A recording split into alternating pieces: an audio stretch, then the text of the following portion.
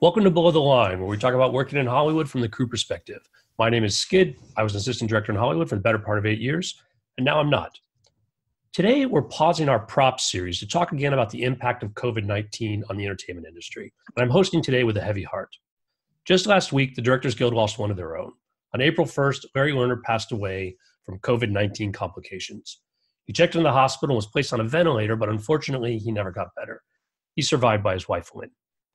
Larry's film career spanned more than 35 years, and for the last 15, he worked primarily as a first assistant director on one hour episodic television shows, streaming series, movies of the week, feature films, and commercials. He was also active within the Guild, serving on a number of working committees and a member of the Academy of Television Art and Sciences. Why did not personally cross paths with Larry during my film industry years? All of my guests today have stories to share. First, Guy Norman Bee, you've been a director for almost 20 years, specializing in one hour dramas. Welcome to Below the Line. Thanks. Thanks for having me, Robert. Next, Pamela Monroe. You've been with the Guild since 2002. You're a graduate of the DGA training program, and you're currently working as a unit production manager. Nice to see you again. Good to see you. Dan Latham, you've been working in the industry since 1995. You're currently working as an assistant director, and you're based in Atlanta. Thanks for joining us. Thank you very much for having me. And our last chair, Bruce Humphrey. Bruce, you're also a graduate of the DGA training program and currently working in episodic television as a first AD. Welcome. Thank you very much. All right, folks, let's start by everybody sharing the stories of how they met Larry. Dan, why don't you lead us off? I was in uh, San Diego. Um, that's where I got started uh, working for Stu Siegel, and there was a feature that came to town, and it was called Top Dog. It was Chuck Norris feature, and I was at the time a key set PA, and um, I applied for the job, and I got a call from from Larry having me come in to to uh, interview for the position. He hired me. I was excited about that because it was my first feature, and it was a Chuck Norris feature. And at the time, those were like, ah, know, those are the good ones to have. And uh, a guy named Leo Zisman, he was the first AD on that, and and I knew, uh, you know, my, the job I had before that was a, a set PA on a show called Renegade. So I, uh, that was my first PA job was Renegade so Top Dog was my second, and I basically didn't know what I was doing. And Larry was great about holding my hand and, and explaining to me what was going on and and and helping me through the process of learning. I, I learned so much off that guy. I just I just can't even tell you how much I learned off him. And and watching him do what he did, and and uh, you know making sure that everything was there and, and leading people around and and and helping them to understand. I mean, he he literally for the people who didn't know, he taught you, and for the people who did know, he expected you, to, you know, them to do their job. He he was amazing. It's absolutely amazing.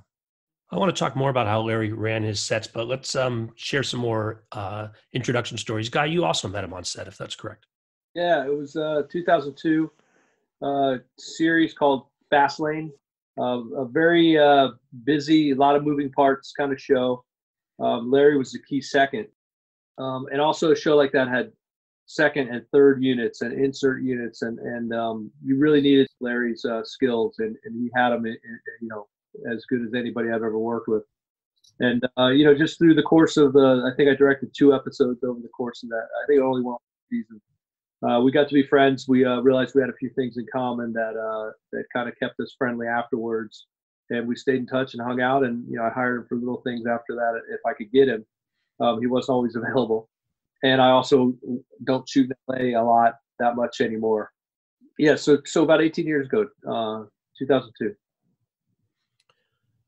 And Pamela, what's your story for when you met Larry? I met Larry in 2004. It was my last show as a DGA trainee. So I was in the DGA trainee program. And back then it lasted about a little less than two years, like a year and a eight months or something like that, a year and seven months. So I had gone through and, you know, knew, I'd say as much as a very good experience key set PA. I think it's comparable. Larry was the key second AD. Again, um, he used to, you know, gaff any second unit stuff.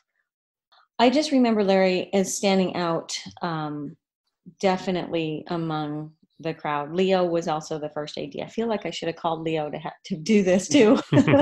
I didn't realize they had worked together so long. but we've stayed friendly, both Leo and Larry and I.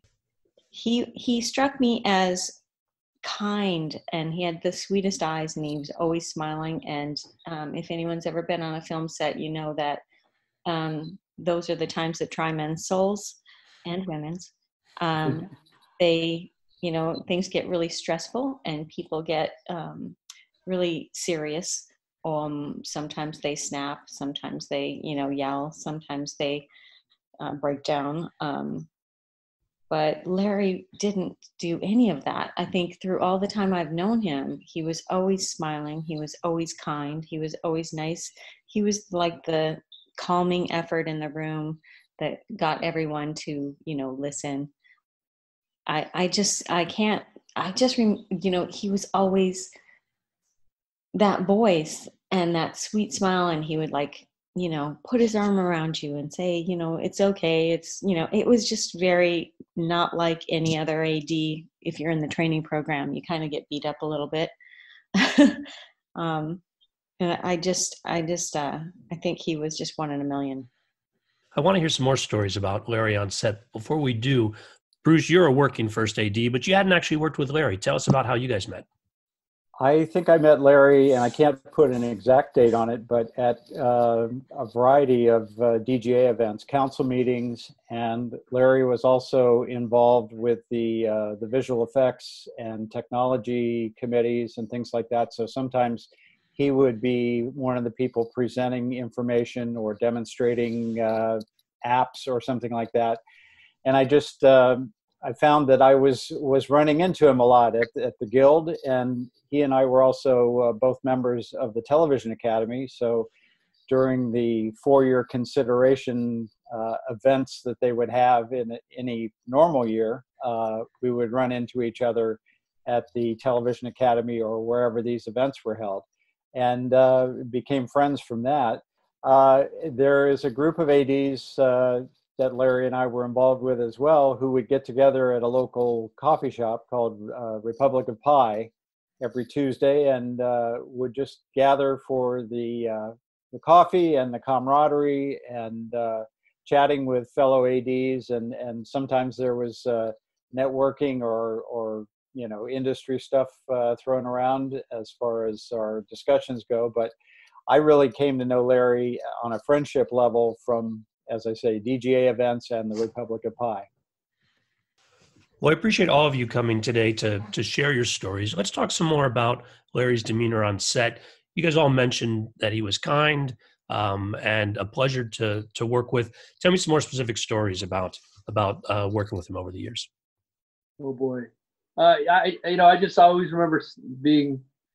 I said something in, in like when uh, I wrote about, you know, right after I heard about passing that you know to have him by my side was such a calming effect for you know like Pamela says it's a it's a three ring circus and a lot of times uh, not everybody is in a great mood but that, that wasn't Larry you know um, he'd have his gold fold in his hand and uh, you know you knew you were in good hands um, and I, you, I, you can't always say that about um, uh, you know when you're in the heat of battle. So I mean that that's the best thing I can say you know he was a filmmaker so he didn't really as well as as great as he was scheduling and as well as he did with all that, you know, the the nuts and bolts of what a, a, a classic first AD job is. You know, he he also understood why we were doing something, and and, and it was never a, a question of like, uh, well, you know, we're going to go to lunch or you know, some sort of the typical things that you uh, you get throughout the course of the day. He understood. He, he knew um, the process as good as anybody, and like I said, just a calming presence for a director because you know there's there's uh, you know throughout the course of the day there's a thousand things that can go wrong. And to know that you're uh, you know the, the, guy by your your side is um, on it it's a feeling. I mean it's one of the things you can check off your mental checklist throughout the day. So i always have positive vibes uh, you know uh, the days working with him as a first and of course as a second too because he would just kind of pop in every once in a while to the set so he wasn't there 100% of the time. But the time he was there you know again we became friends over a couple personal things and stay and remain friends. And uh, we you know we'd speak on the phone about once a month and just just catch up. In fact i never bruce i never met you but i he spoke highly of you kept inviting me to republic of pie and uh, and I and I uh, you know lament the fact that it never really uh, has worked out. But maybe maybe sometime in the future.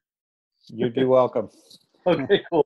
I, I yeah, I'm, I'm smiling because you said he had his gold fold and for and I know this is radio, which will mean nothing, but the damn thing was this thick. For our radio audience, Dan is spreading his fingers about six inches apart as far as all the documents he was trying to carry. 'Cause he had it full because if there was a piece of paper that you needed for on that show, it was in his gold fold, and it was. I mean, he, he literally. I remember the mornings he'd he'd have to be cramming the stuff in. He'd fold the one over, and he'd get up, and he'd push down the other just to make it try to get it flat. But it was you know, like I said, it's that thick.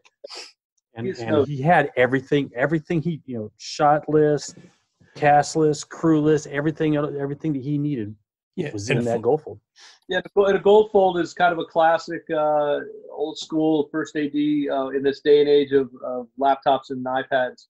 It's a basically a, a, a thick piece of leather that folds over um, like a trifold with a cla- you know a metal clasp and you and a, and a thing that you were able to slide all your your um, you know your everything you would need for the day, one liner, the, your, of course your call sheet, and any notes, and then you would fold it all back up and shove it into your back pocket, your you know your right hip pocket, and um, you know the the, the good first ads.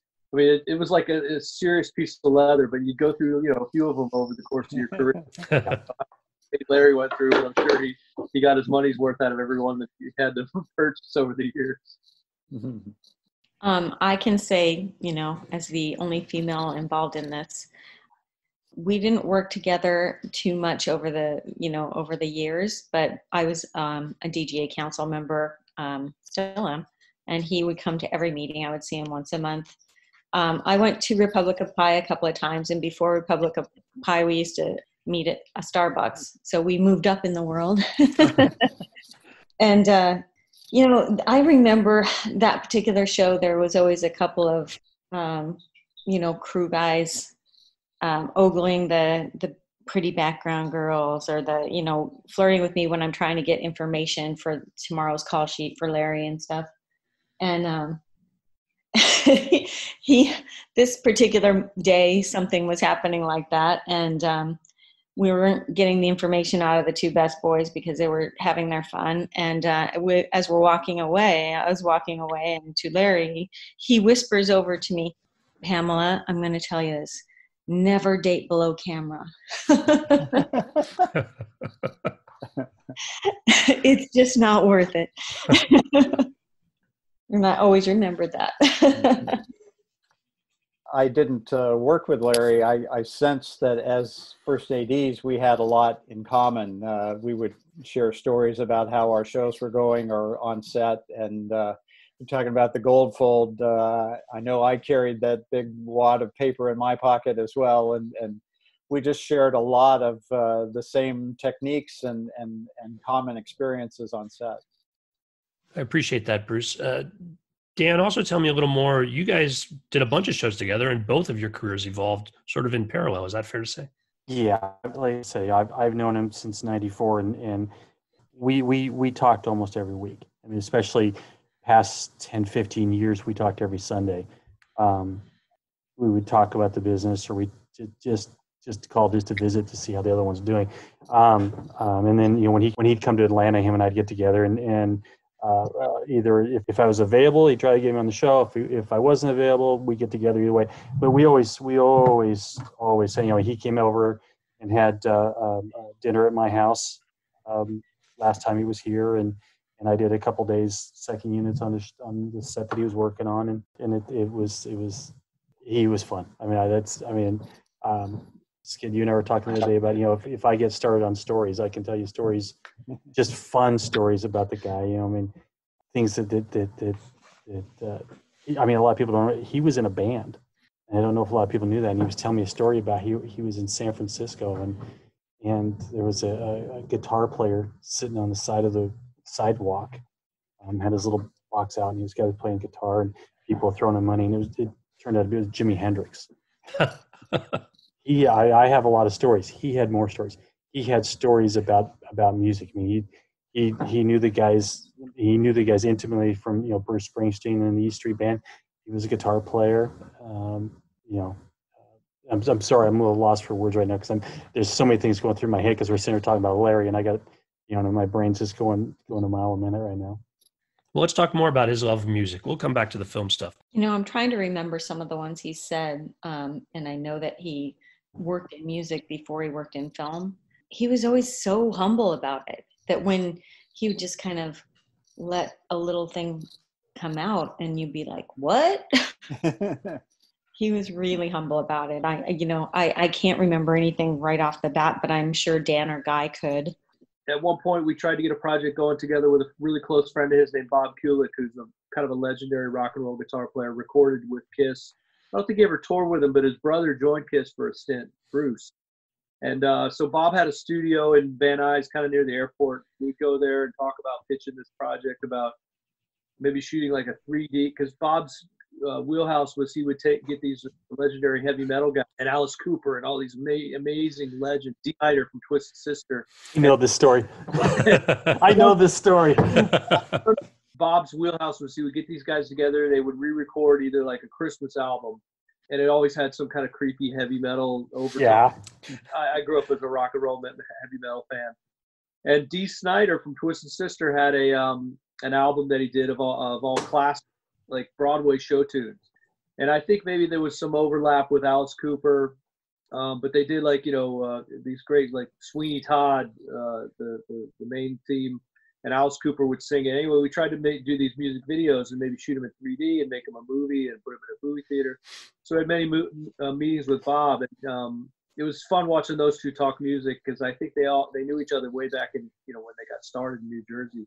I'm not positive, but uh, it was it was always fun to, to, to hang with those guys. And I think at some point Bob moved to Las Vegas, and so and you know we never got the project up and off the ground. We you know pitched it around, and got some interest, but you know nobody came forth for the checkbook. So the way it happens. Yeah, I remember him telling me that story because I, I want to say that it was Dee Snider was going to sing "My Way." Yep. and he was oh I, yeah he was excited about that I mean, he was like, you know, he was like, I can't believe, you know, he called me on, it was on a Sunday and he called me, he said, we're going to do this thing. It's so cool. And he was so excited about that. But yeah, there was something that fell through on, on that, that but it sounded very cool.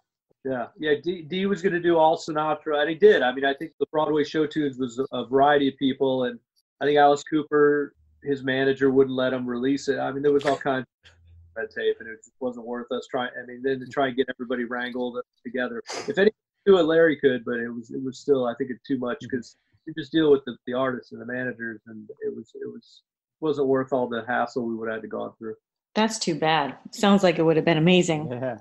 Larry talked uh, quite a bit about a project he did last year. It was a Quibi show called, I think, Royalties that Amy yeah. Heckerling directed. And as I understand it, you know the Quibis are sort of divided into 10 minute segments and each of those segments i think had a musical performance as a part of the segment as well as a narrative performance and after he finished uh, when we would gather at republic of pie he would talk about you know some of the things that uh, that happened on that i know he had a, a, a musical artist I, I don't know the name but uh, somebody who canceled literally the, the, Sunday night before they were supposed to shoot on Monday, and they had to um, kind of make a, a, a, scramble as ads do when when things fall out and you can't shoot what you had planned.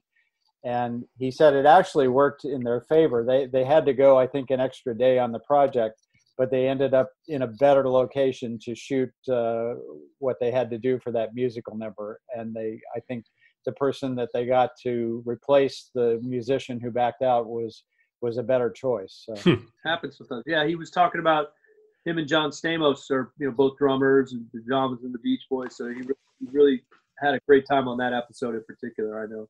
I remember he talked about a uh, there was a song about the size of King Kong's uh, genitals, and I think Mark Hamill was was oh, uh, involved in that segment yeah, yeah, that's cool. Now I know Larry did quite a bit of location work, but um, one of you suggested that uh, he was going to try to stick to LA going forward.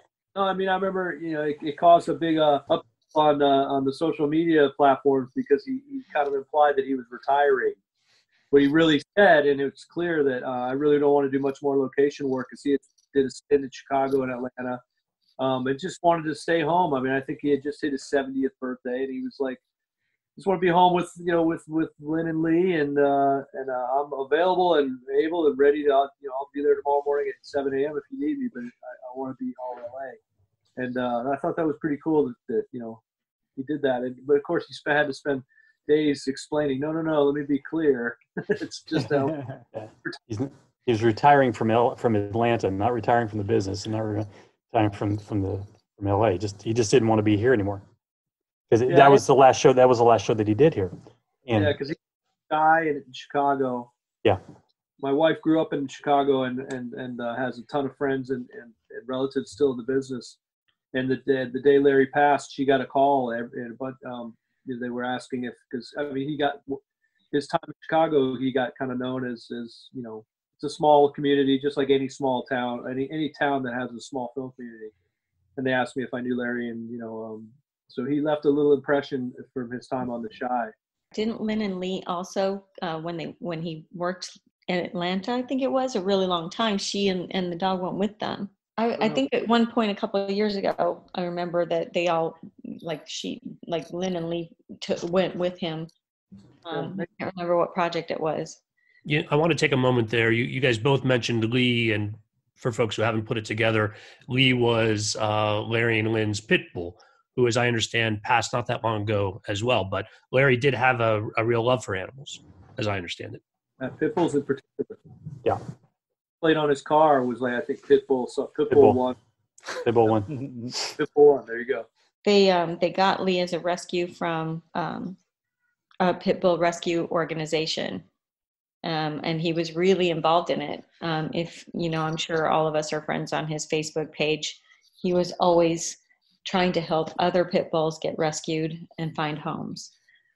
And uh, yeah, that he he didn't just get the dog and then walk away. I mean, they stayed friends. In fact, um, the organization uh, started a GoFundMe page for for his uh, funeral expenses for Lynn.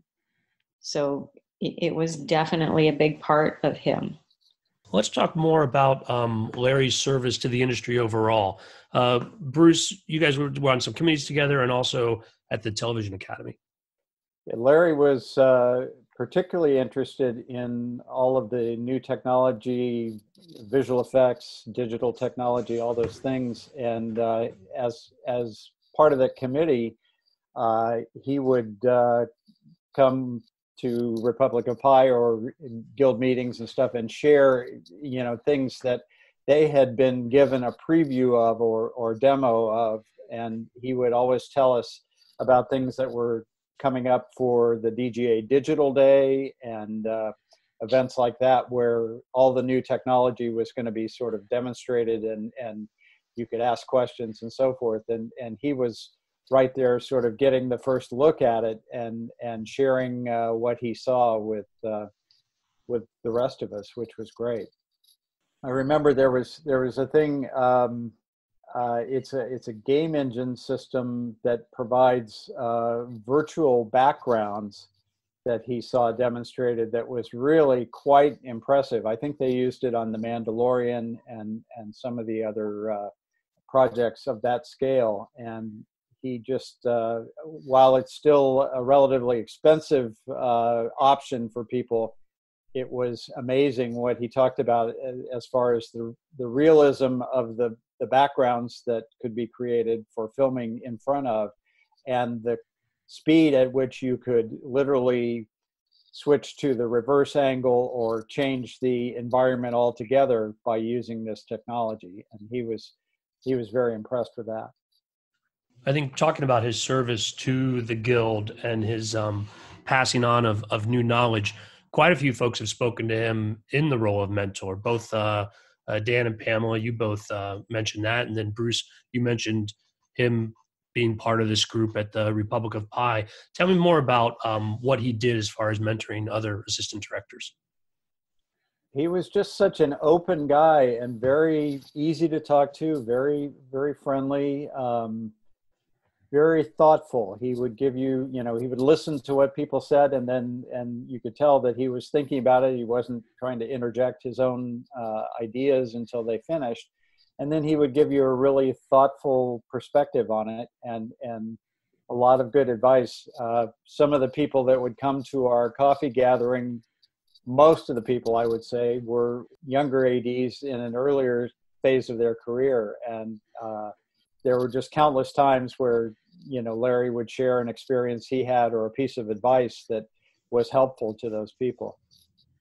I, I remember. I just I just remember. You know, he he like I said before when did Top Dog, how he was he would always you know and we did a, a, you know it was Top Dog and and we did this this TV movie together, with working with kids and stuff like that. And I remember him always telling me, it's like you know I'm going to teach you, you be sure to pass it along. You know, and and and that's I've done that for years now. It's a you know I remembered that that, that you know I have he put a lot of knowledge into my head, and it's my job is to pass that knowledge along to other other kids as they're coming up the ranks and and I more I find myself pulling more information that was given to me by him than anybody else that I pass along. I mean, he he he knew what he was doing. He knew his stuff. He knew his job. He knew he knew the job of an assistant director, and and and he loved doing it. And it, you know, you could tell by watching watching him work, and the way that he talked to people, and the way that he he related to people. It was just it was just it was it was kind of cool to watch. because you know, because you know you you you knew that he was to you know that when he get to a group of people together, it's like what's Larry talking about? Let's go let's go listen to what Larry's talking about. You know because he you know number one there was going to be a story in there, but also you know the information that, that you were going to get out of it was fantastic, and you remember it.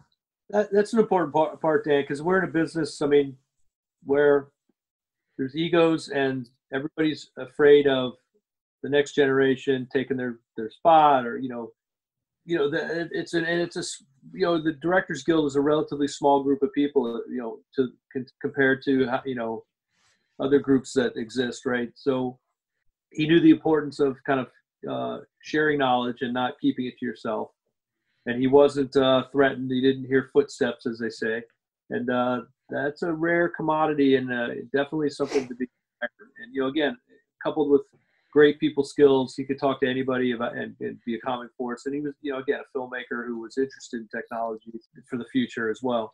It's a, it's kind of a, the, the, the best possible pack for, um, for somebody in this business. And he had it all. Larry would always uh, demonstrate uh, some of the new apps that you could have for your phone or your tablet uh, that were production related apps that you could use on the set, whether it was something you know you would take on a location scout to like do a quick floor plan or map out an area to you know weather predicting to you know any number of other apps and he would always be on uh, the panel as one of the demonstrators of these apps when we had our digital day events he was a he was a gizmo i mean he, he liked technology I mean, he, that's that was that was his thing was technology he enjoyed it and and, and he always wanted to be you know he couldn't you couldn't throw enough at him because he would just just just like a sponge. You know what I mean? He just takes it in and just keeps taking it, taking it in, taking it in, and never stop. You know, and and you know, I mean, uh, I was talking to Lynn yesterday, and she's like, "What am I going to do with all this stuff?" Because he has all this equipment in the house um, of you know recording equipment and sound equipment, all kinds of stuff, and it's because you know he he wanted to to absorb that stuff. He wanted, you know, he wanted it was a it was a toy for him It was something to play with, and he enjoyed it. Yeah, he was. Uh, I remember the couple, few times I was over his house, he loved to show me his turntable. Yeah. Which turn, yeah, yeah. Technology, but he had like the mm-hmm. turntable. Might have been a McIntosh, but not like Mac, like Apple Macintosh, like MC. He had the he had the shit, the good stuff. Yeah, yeah, yeah. He did, he didn't he didn't waste his money on, on just buying anything. I I know the turntable you're talking about, you know, and, and it's because he he believes like no, you know, CDs, blah. You know, it is, it's all it's it's all records. It has to be albums because that's where you get your best sound out of. Yeah, but it was that I remember that turntable. I think it was expensive. and the speakers he had in the room, those huge. This was at his house. He had these huge wall speakers, and they just these things are giants. Mm-hmm. Yeah.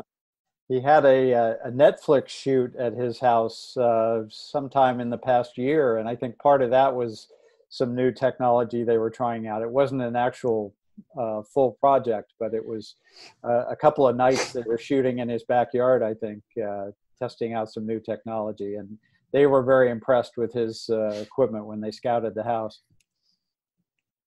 Well, when you were talking about mentoring, I, I just um, I just remember that he was um, you know, it's he was quiet, right? He was never loud or he was never boastful. He was so humble. And I think he was much more productive because he was quiet and because when he had something to say, it, it really made sense and it was valid and everyone listened. It was like he could call you over with his calm, quiet voice. And, uh, and that really stuck out to me. It was always um, just seeing him, you know, at an at an event or anything like that. The, that beaming smile, the nice soothing tone. It never kind of wavered whether you were at work or at play. So everyone just was quiet and listened. Yeah, it set a tone. Yeah.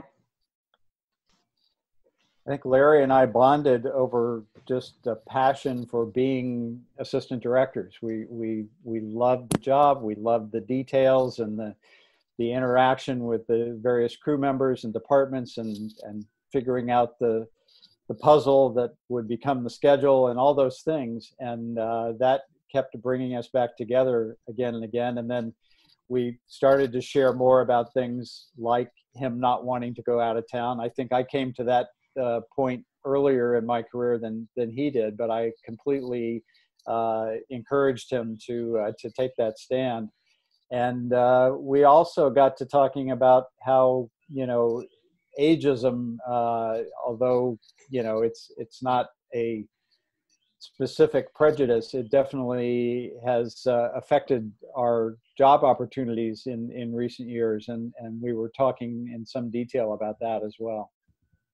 Yeah, we we were emailing back and forth um, just gosh about a month ago because I um, I I jumped from second AD to UPM, um, which was always my goal.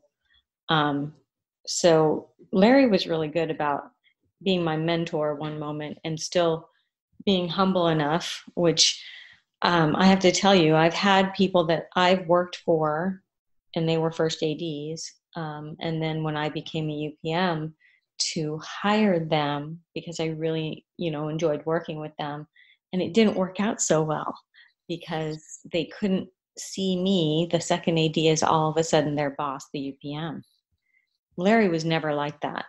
And we were trying to find, you know, he, I think, was free, just got free, and so did I. And he's like, well, you know, he sent me an email and said, how about, you know, the next gig? Let's try it you know and i was like you know your lips to god's ear um, uh, as usual when you're freelancing you know i you know it's it's hard you know and you try and find a gig and try and get the people that you want to work with at the same time that never worked out and i'm just so you know so bummed that it didn't well it is clear to me that uh, larry passed on a lot of knowledge to all of you made quite an impression and Dan, to the point you were making earlier, as far as the part of his legacy is that knowledge going further that uh, all of you folks pass it on as well.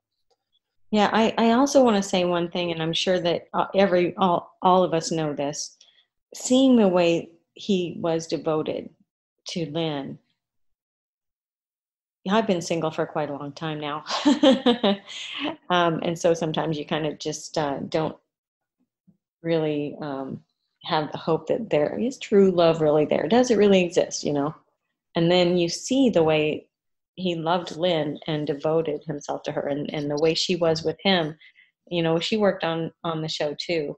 And I didn't know her as well because she was kind of um, I'd say more introverted.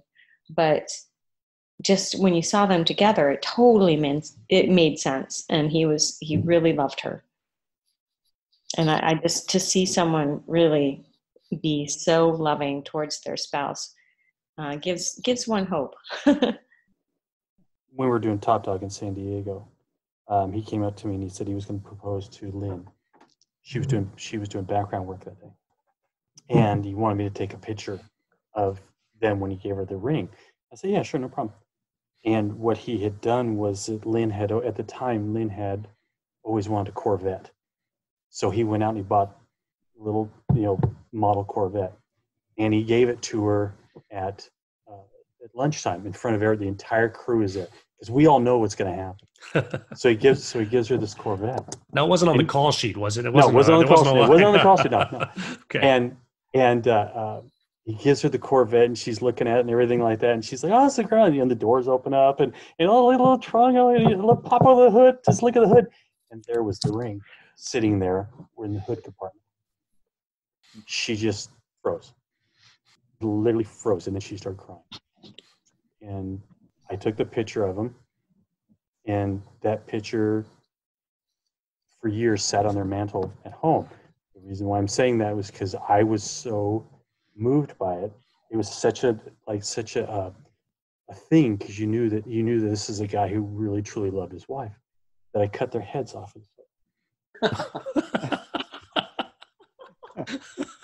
And a pol- unfortunately, it's Polaroid. So you know, it's, it's it.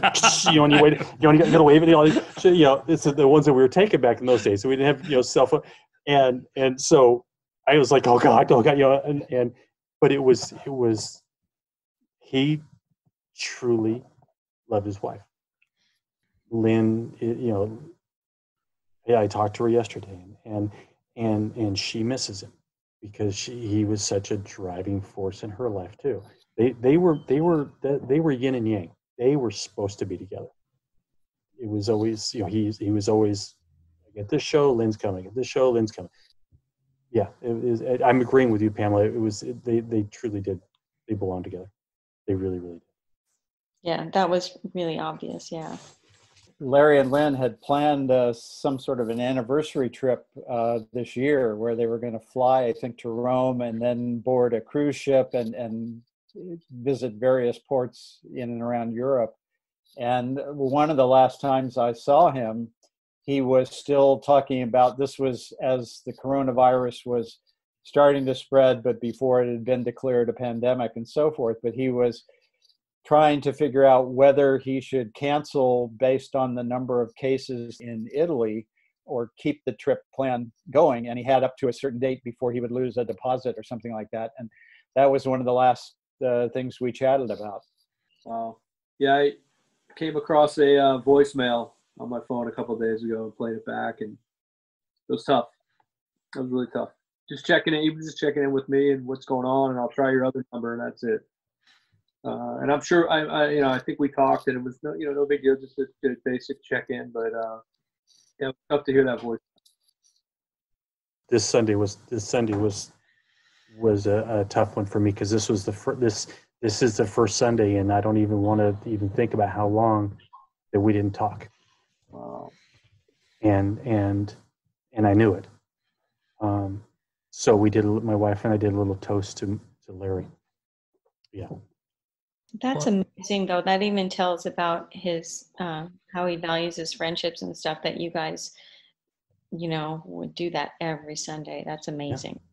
yeah. I mean, and we. I mean, we. Like I said, we just talk about whatever. We talk about the business. We talk about you know what's going on in each other's lives, whatever it was. We, we you know, it was you know 15, 20 minutes, but it was you know, you know, I always knew it was it was because my wife just teased me about it.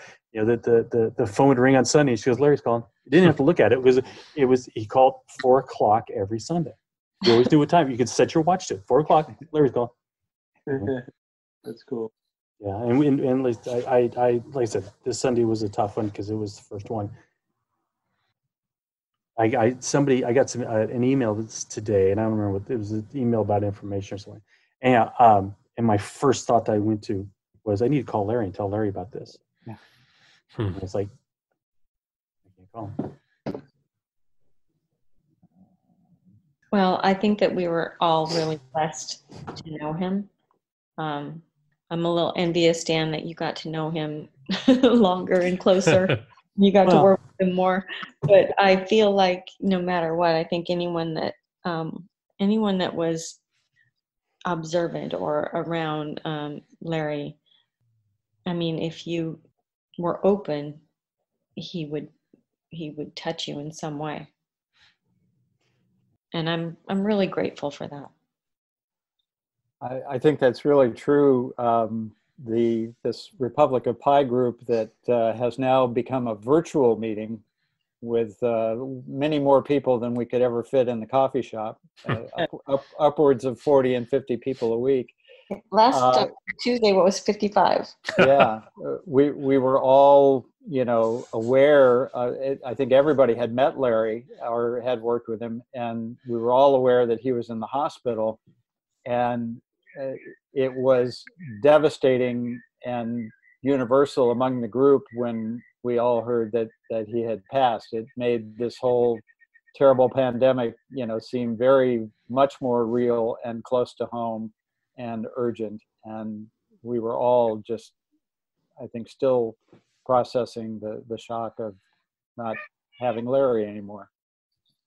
Yeah, I had gotten a uh, text the morning after uh, from my friend Jim Goldthwait, who's a, another you know first AD friend of mine and friend of ours, and he knew Larry and I were close, and, and I had no idea he was in the hospital or any any of that. So that was about as big a gut punch as I've ever gotten when I when I woke up and saw that text. And uh, yeah, that that one hurt, man. That one really is going to stick with me for a while.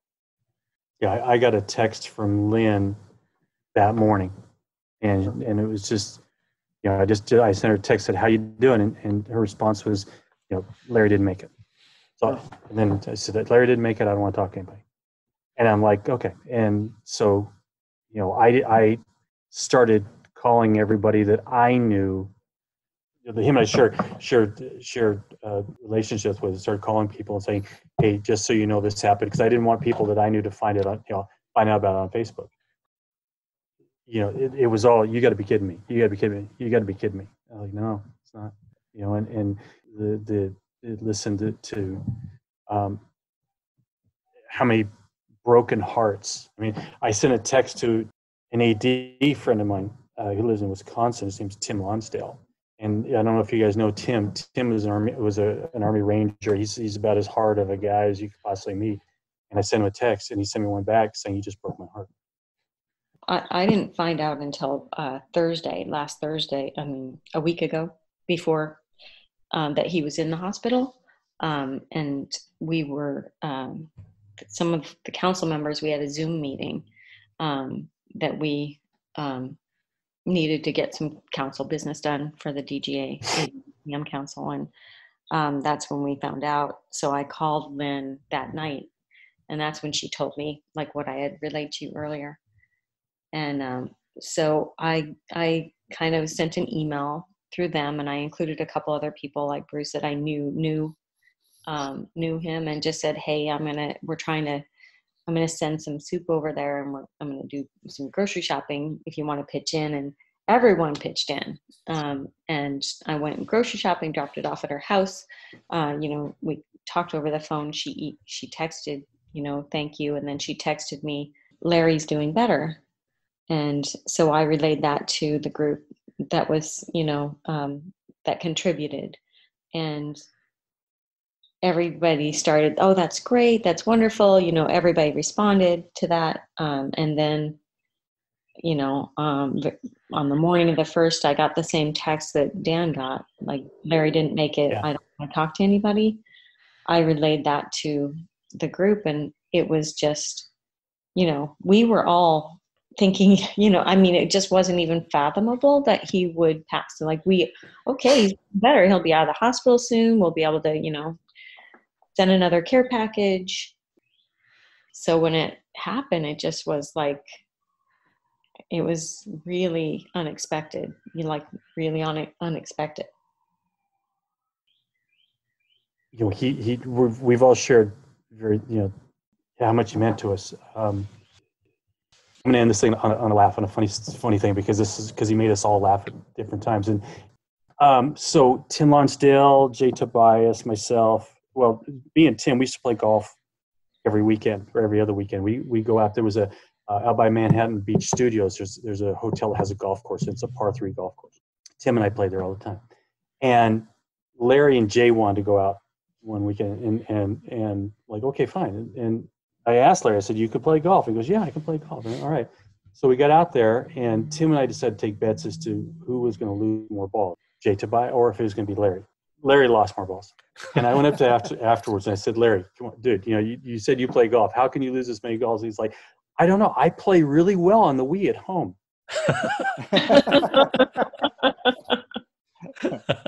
Virtual. That's that's that's Larry. Yeah. That's Larry. And I, I laughed my ass off. And and and that is that's Larry to me. You know, that was Larry. You know, we we've laughed, we've cried, we've we've been angry at the world together. Uh, but but the man could make you laugh. You know, and and and and he always put a smile on your face and and he always um, he always had something good to say you know there, there was there was there was more positive in his world than there was negative because he just didn't like to have negative and that's my funny story Appreciate you guys coming today and, and sharing these stories. Larry is missed. Thanks, good. Listeners, I welcome your feedback. You can send your email comments to skid, S-K-I-D, at below the line one word dot biz. That's B-I-Z. If you're an iTunes user, please rate us. It helps us reach new listeners. And if you're on Facebook, you can find photos and other behind the scenes materials at Podcast Below the Line. Finally, you can follow the podcast on Twitter and Instagram. It's at Pod Below the Line. Thanks to Curtis Five for our music and John Wan for our logo. The logo is available on t-shirts, mugs, and stickers at redbubble.com. We'll be back next week with another episode, most likely picking up again with our series about the property. Until then, be safe.